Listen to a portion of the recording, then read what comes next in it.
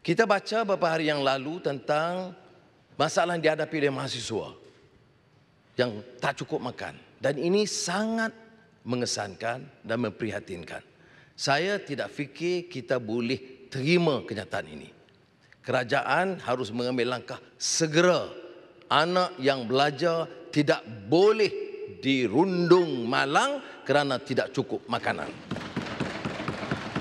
Saya Terima kasih kerana dalam uh, perbincangan dengan Menteri Kewangan semalam dia kata bukan setakat itu tetapi peruntukan yang sangat besar sedang disediakan tambahan kepada belanjawan yang disediakan untuk mengurangkan bebanan dan tekanan kepada rakyat. Saya setuju dan gesa beliau segerakan.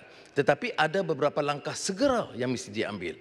Kalau uh, pekebun kecil getah atau nelayan yang merana ataupun macam sekarang ini anak-anak mahasiswa tak boleh tangguh dua minggu. Ya. Kita bukan Somalia ataupun eh, beberapa kawasan Sudan. Ini Malaysia. Dan kalau kita dengar, maka tanggungjawab kita untuk segera melangkah. Universiti mesti ambil tindakan. Kementerian berkena ambil tindakan untuk menyelesaikan masalah ini. Untuk eh, dan saya ucap terima kasih kerana kerajaan-kerajaan negeri setelah saya merayu mengambil keputusan untuk segera meluluskan peruntukan tambahan untuk anak-anak negeri mereka. Selangor akan bagi kepada anak-anak Selangor yang mengalami masalah dan ini akan diluluskan segera menurut Menteri Besar.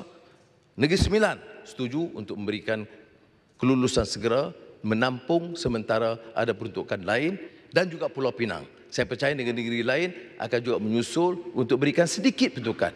Kalau RM100 pun tak apa, tambahan daripada yang mereka perolehi sekarang untuk mengurangkan beban yang dihadapi oleh pelajar. Datuk Yang Dipertua, saya tidak fikir sesiapa pun di negara ini boleh terima kenyataan bila membaca masalah anak-anak mahasiswa yang hadapi masalah uh, makanan ini dan membiarkan mereka begitu berlarutan untuk beberapa minggu.